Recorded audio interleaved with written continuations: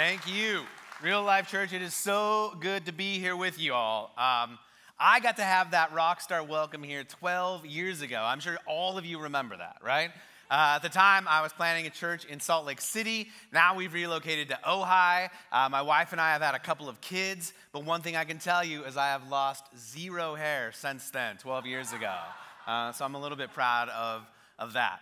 But, but really, um, it is so good to be here with you guys to, to know the story that you all have been telling over the last, man, 12 plus even longer years of who Jesus is and what he's about, how, how you blessed me, my family, the church back then, and how you are blessing now. It is a gift to worship with you. It is a gift just to know you all. And I'm so excited that we get to be in this series, Real Hope. Because for me, man, I, I, can't play the game. Like if, if church is just something where we, where we say things but we don't mean it where we talk about things but they never come about, then I'm out. Like I'm done. A, a little of my story is, is I grew up in the Mormon faith, and, and at one point in my life, at 18 years old, I realized that, man, I had to leave. That what was being said wasn't true.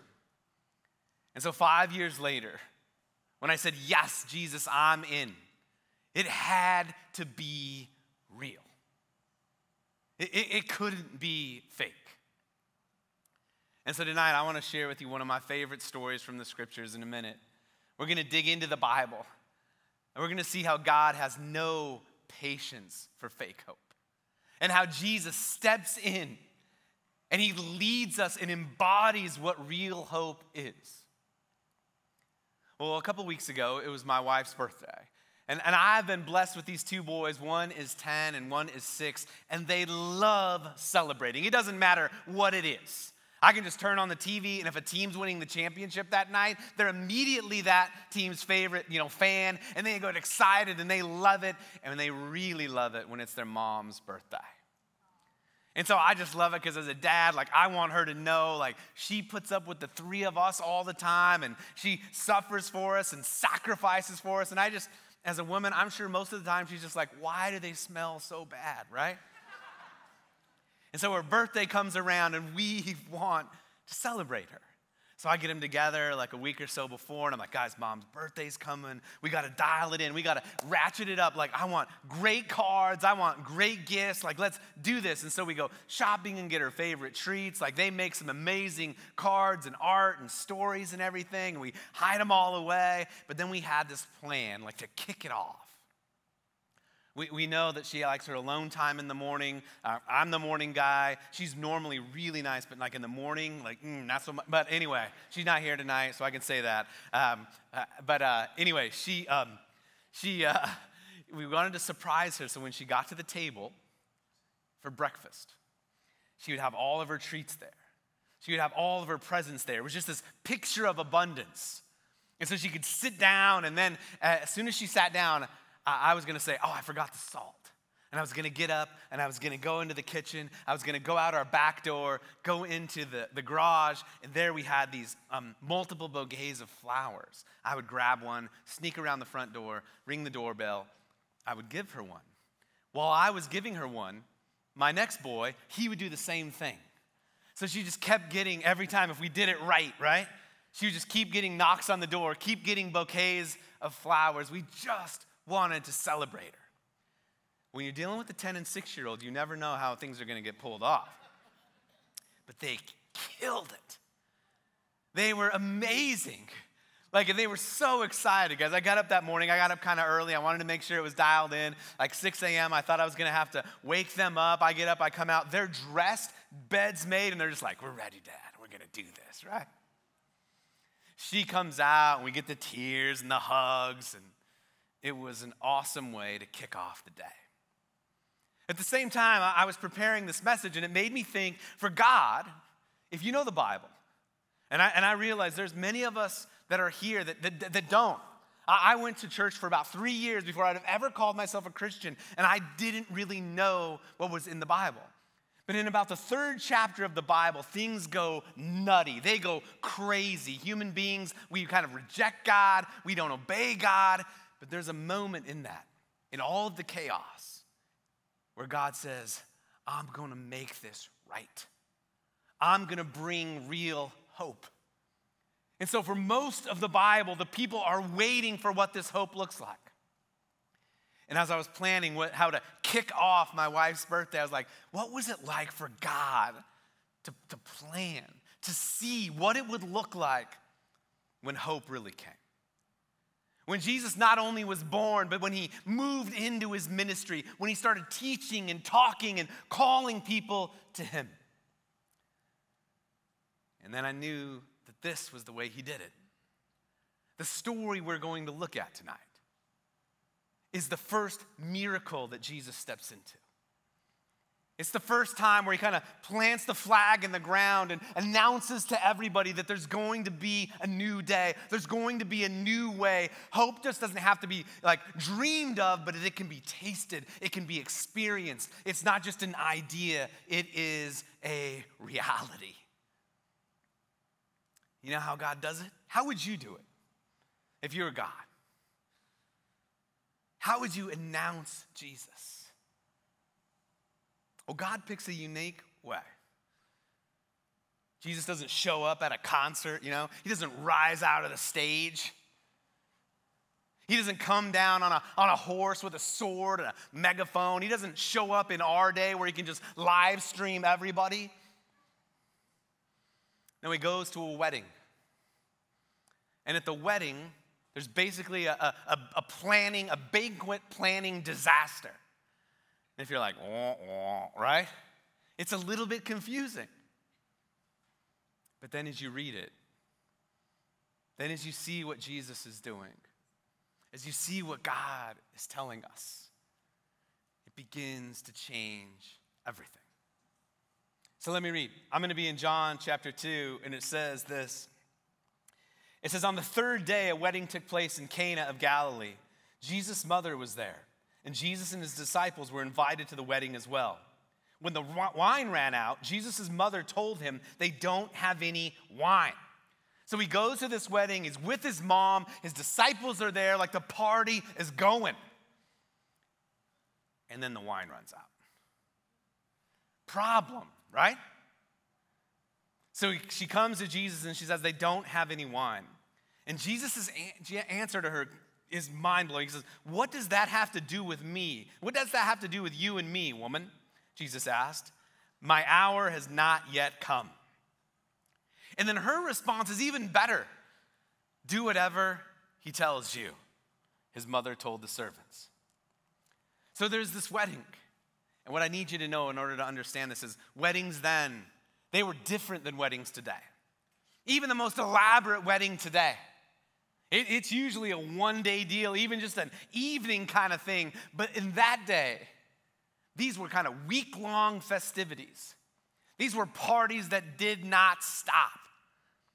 They, they were the ways that families, they would show honor to their relatives. They would show honor to their child that was being married. This was a way that they kind of stood before the community and said, this is what our family name is all about. And so Jesus shows up and the party starts and the wine runs out. And Mary gets it. She knows that this is just not a small problem. She realizes that it's not just going to be, ah, we can't have any wine, the party's over. She realizes that this family is going to be shamed. She realizes that this family, as far as social status, as far as value in the community, is going to be reduced to nothing. And she wants to give them mercy. Mary knows something that most of the people at the wedding didn't, right? She's known since the beginning that she's giving birth to this boy who's going to change everything. And so she goes to him and she says, They have ran out of wine. She didn't ask him to run to, you know, the liquor store. She's like, You need to do something about it. Now, there's a statement that Jesus says that I read you, right? Where he says to her, um, what does that have to do with you and me, woman? He says, My hour has not yet come. Now, I just want to bring this up because this is a totally different sermon. But what Jesus is doing is talking about um, his hour is not yet at hand where he would go to the cross. Anytime in the book of John when he talks about it, it happens three more times when he talks about his time coming. It's about when he ultimately shows us what hope is. When he ultimately puts flesh on the line and dies for us and is willing to say to anyone and everyone, if you need mercy, come to me. Even if you are killing him, he would say, God, forgive them. But like I said, that's a whole nother kind of path for another day. She just says, do whatever he tells you. Now, I'm not going to make you wait. I'm not going to make you wait and wonder what does he do? He takes the water and he turns it into wine. He performs his first miracle. And he starts to blow minds, right? He, he starts to take something that seemed impossible and make it possible. He starts to shout to the world, You want real hope. He is it. What he says in this moment is so powerful. He's showing all of us that our God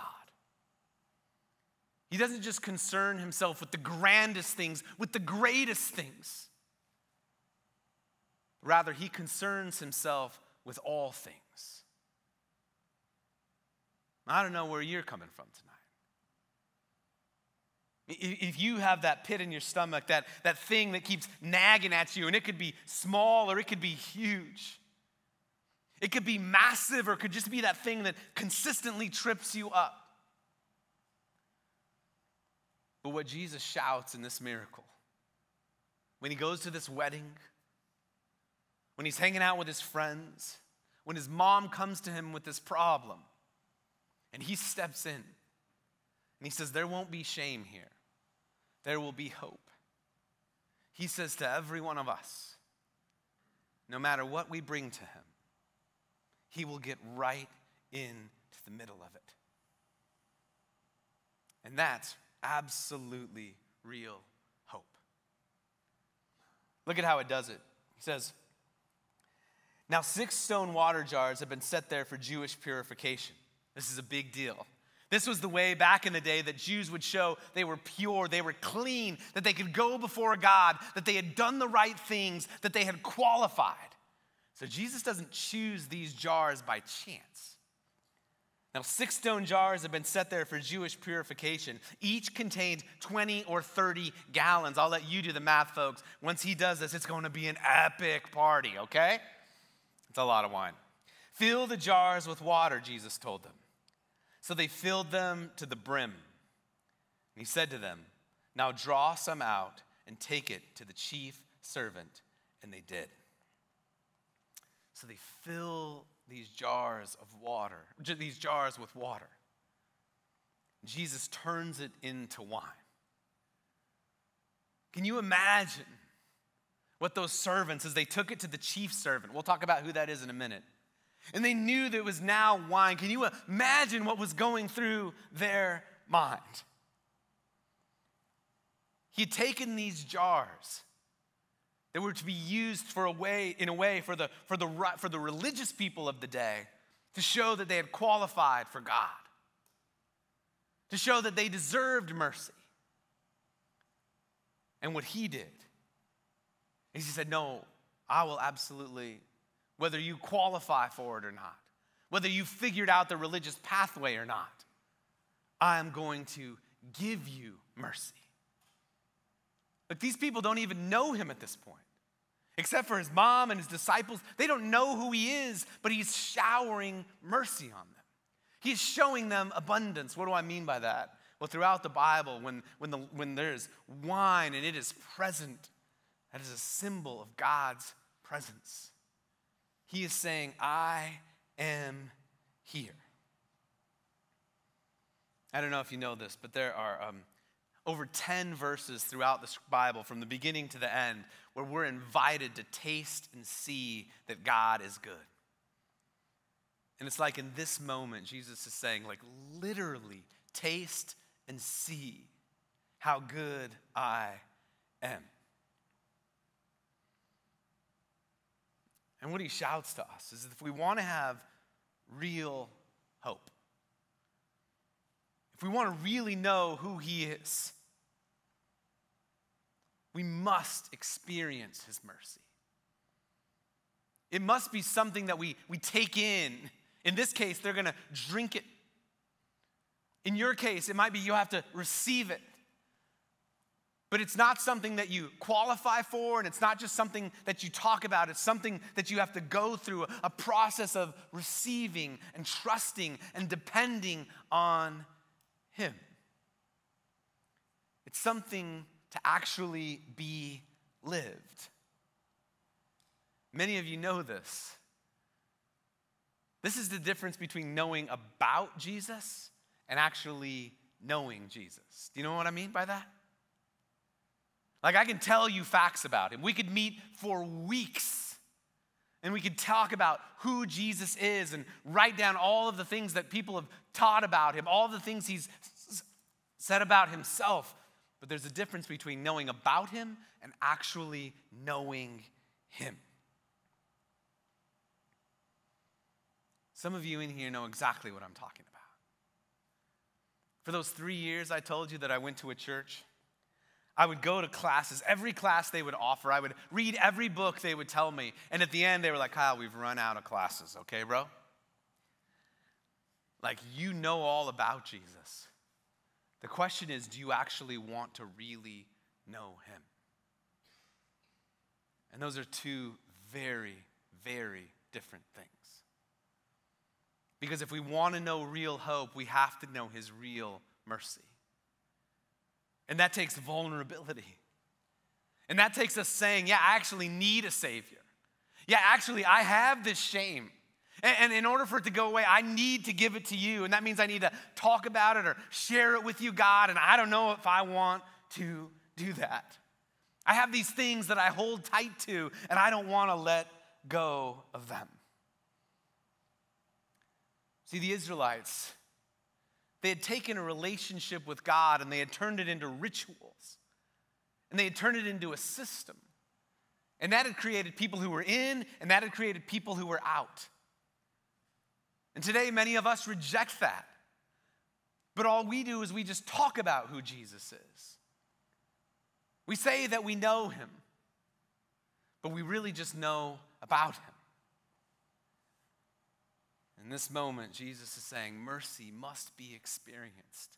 If we want to know real hope, we must actually taste it. And I just want to be real with you folks. That is so hard for me because I want to be in control. And I'll be honest, I like the idea that Jesus offers me mercy, but I don't want to admit that I actually need mercy. There's a few moments that always stick in my head about this. Uh, one was in 2013. Uh, we were getting ready to have our first baby. And we lived in Salt Lake City, Utah, where it gets cold, like real cold, not California cold. You know, we're like, woo, it's 58, right? No, there it's like, woo, it's 12, you know? And so my boy was due in February, and we're getting into the winter months, and we'd had this crazy calamity of stuff happen. We found out that in Utah at the time, um, the insurance we had did not cover pregnancies. Yeah, insurance companies were smart about Utah, right? Anyway, um, and so we had to come out of pocket for that, like dig into our bank accounts, and then um, and then we had this massive issue with our water main in front of our house, and we had to repair the whole thing. Another huge chunk of money coming out of our savings. And so by the time we get to this moment of of of, um, of him about to be born, uh, I wake up one morning. It's November. It's getting cold. I turn on the furnace, and I just hear like click click nothing. So I call the heating company and they come out. Like, furnace is dead. and I'm like, let's just put it on a card because our savings dwindled. And my wife's like, let's pray about it. I'm like, pray about it? Like, God wants us to have heat? She's like, let's just pray about it. And I'm like, I don't want to be the dude who's making his pregnant wife freeze, right? That doesn't look good. We pray about it. That was fine. Then she says, let's tell our small group about it. I'm like, first idea pray about it. I wasn't totally on board. I came on board. This idea, not cool with, right? I didn't like to say that I needed something. I was the pastor of the church. I wanted to show that I had it together. She's like, now is the time for you to see if you listen to the sermons that you preach. I was like, ouch. So we told our small group, and our small group said, we'll pray about it.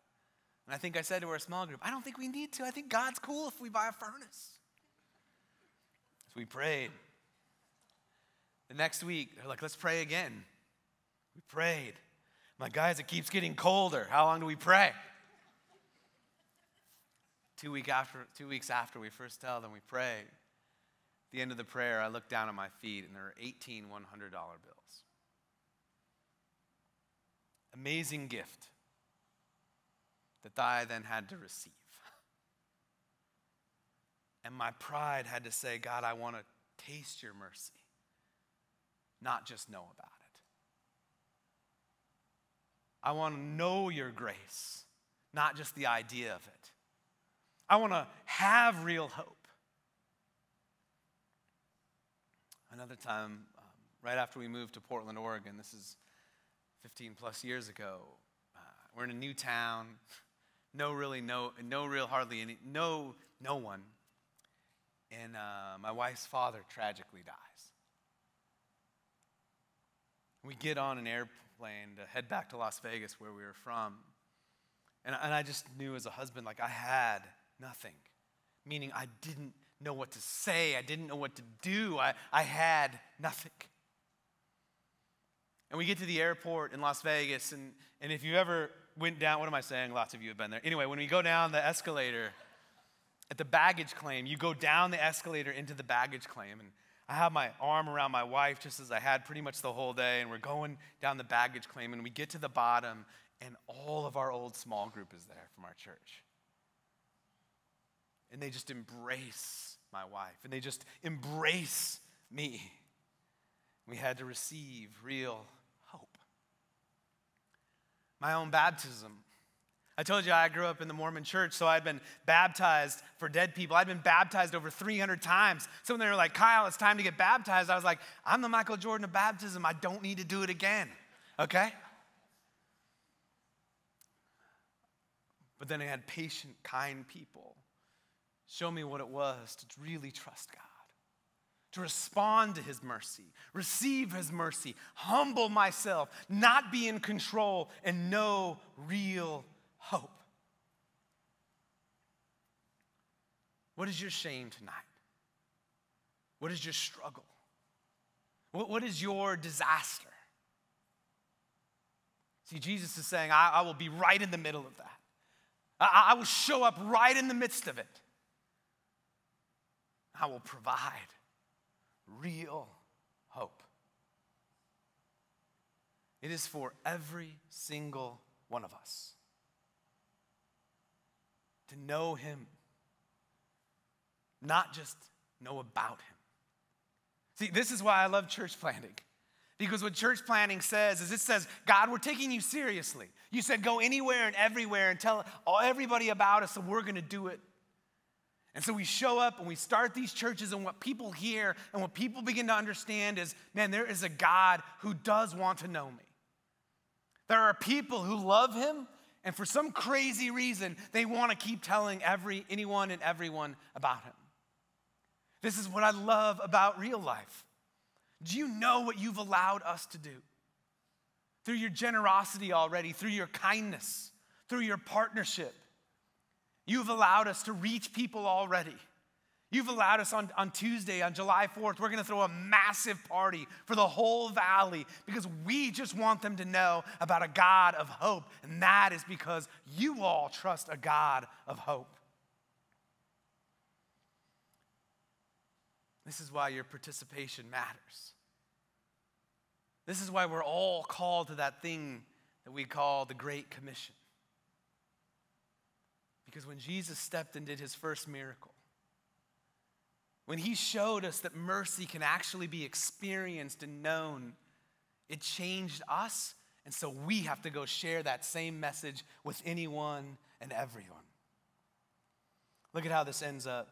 It says this when the chief servant, so the chief servant gets this, and you need to know this isn't like a wedding coordinator. This guy was like, he was amazing. Everybody in the town would know him. He would be the one who would either communicate, you were an awesome family who did amazing things, or like stay away from their weddings. So when the chief servant, chief servant tasted the water after it had become wine, he did not know where it came from, though the servants who had drawn the water knew.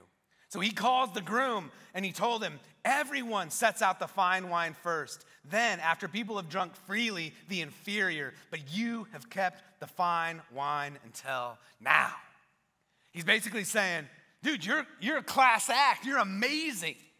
Usually, what people do is they give the fine wine first, and then after people do not really even know their name, they bring out the cheap stuff. He goes, No, like what you do is you keep upping the ante. You keep bringing out the stuff that's better and better and better and better. And you see what God is telling us? Because we know who that is, right? We know who the one who has provided it is. Like the Lord of this party, the master of this banquet, of mercy, of grace, of redemption is Jesus. And he just keeps bringing the good stuff. Like if you thought just the first time you trusted in him, he was gonna bring grace, no, no, no. He just keeps bringing it. And it just keeps tasting better and better and better and better. You go sideways, he'll keep bringing it better and better. You realize there's stuff you didn't even know you had, he'll keep bringing it better and better. Folks, this is real hope. See, mercy must be experienced, but once you actually experience it, once you taste it, once you keep trusting in it, what you know is joy. Because joy always follows mercy. I think a lot of times we think I'm gonna bring Jesus my weight, I'm gonna bring him my shame, I'm gonna bring him my struggle. He's gonna hear me, and I'm gonna have to go hang my head for a little while. Like give my penance for a little bit. But no. What real hope is, is Jesus says, get your head up. See, sons and daughters of God, they don't hang their heads. Sons and daughters of God who've trusted in that cross, who've believed and let that blood clean them, they, they don't hang their heads. They look up. And they know that what, what's on the other side of mercy is real joy. If you hear the whisper that says, hang your head, that might be your flesh, that might be your mind, that might be your brain talking.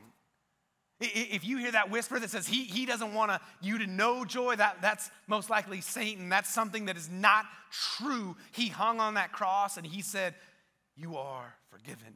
It is finished. And what he finished, you can't start again.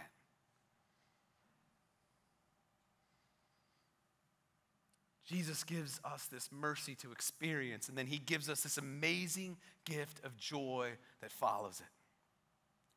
This is real hope that is for every single one of us. The real master of the banquet, the real Lord of the party. He comes, and with this, this, this miracle, he says, I came to rule, and I came to reign, and I came to do it with joy. You don't have to qualify for it, and you don't have to just talk about it but you can surrender to it and you can receive it. Receive it. Sometimes um, in church world, we know people inside and out think Christians are boring. I only think we're boring when we're not experiencing mercy. Because when we're experiencing mercy, the joy of God wells, in up, wells up in us, and we just cannot stop talking about it. That's why we wanted to, to kind of kick off the ministry of our church plant in Ojai. We wanted to start with a party. Because if anybody should be good at partying, it should be the people whose God, whose Savior, get his first miracle at a party, right?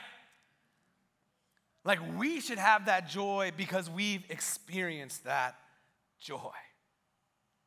This is real The question for me often, though, comes to this it's like, how do we live this? Like, I, I can read it, and I, I can even like have those times in my life where I taste it and it's going great, but then I can find myself in that moment, in that space where it just feels like, God, how do I get back to that? How do I live this? And the answer is in this passage as well. Do you remember what Mary said?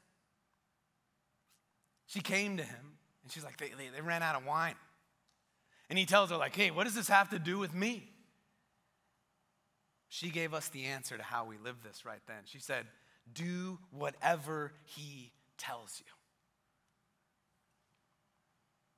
See, if Jesus is our Lord, if he is our Savior, then we listen to whatever he tells us.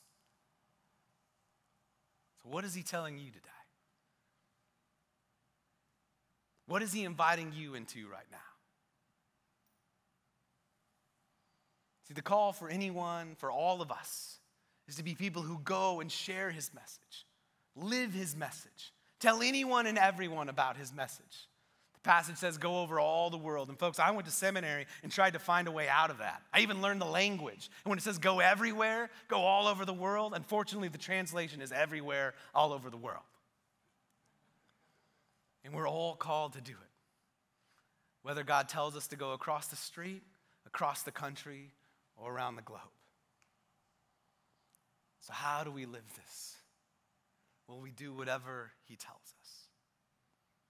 And right now, folks, in, in Ojai, we believe he is telling us to plant a church that just screams real hope, invites anyone and everyone to know real hope. And what I want to do is invite you all to join us in that. We have this party on Tuesday. This would be a great way to dip your toe in it. And what we want is we want 25 real life volunteers to come and to help us live this out. Do you know how amazing it will be when these people show up and they keep asking the question, why are you doing this? What is this for? And every time it gives us the opportunity to share the incredible message of Jesus. And so you can join us. There's a QR code that's on the side screens. You can scan that. You can come. It's on Tuesday, July 4th. It's from 4:30 to 9:30. That's the shift of volunteers. So you can even get your parade on in the morning and you can come do your fireworks with us, right? And if you're like, I don't have any special skills, well, we got we got jobs where you don't need special skills, and we got jobs if you're an incredible, you know, tattoo artist. They're fake tattoos. I wish they were real. Um, or you want to paint some faces. You want to serve some hamburgers. You want to just welcome people? Come and join us. Or maybe God's stirring something deeper in you. Some of you have been around real life when you've planted churches and you've sent people to be part of a launch team for a season. And if that's in you, like if you want to come join us from, from literally the end of July through the end of December, you can go on that QR code and you can sign up for that as well. But this is our opportunity to take a step and tell anyone and everyone that hope is absolutely real and hope is absolutely found in Jesus. Will you pray with me? God, you are so good. Thank you, Father. Thank you that you would bring Jesus, that you would send Jesus and he would step on the scene and through a wedding begin to reframe begin to redefine what it means to trust in you, to be in relationship with you. God, would you open all of our ears tonight? You're telling each one of us what it looks like to follow you and to trust you. And would we listen to you?